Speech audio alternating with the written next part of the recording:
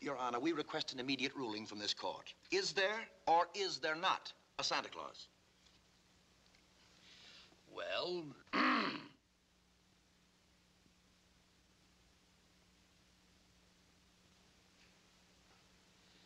Uh, the court will take a short recess uh, to consider the matter.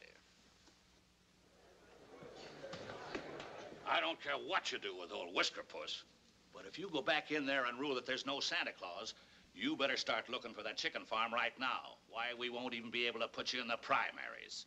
But, Charlie, listen to reason. I'm a responsible judge. I- I've taken an oath.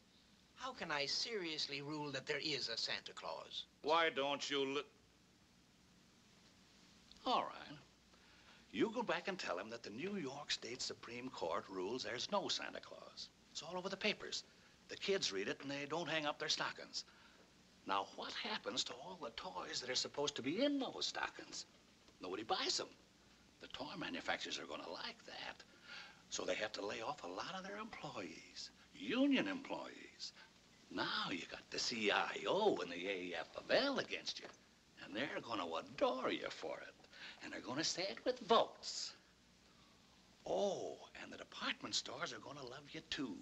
And the Christmas card makers.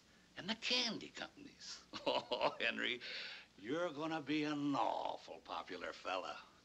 And what about the Salvation Army? Why, they got a Santa Claus on every corner, and they take in a fortune. But you go ahead, Henry. You do it your way.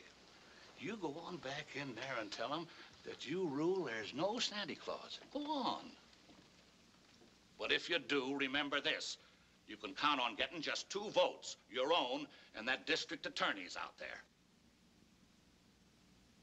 The district attorney's a Republican.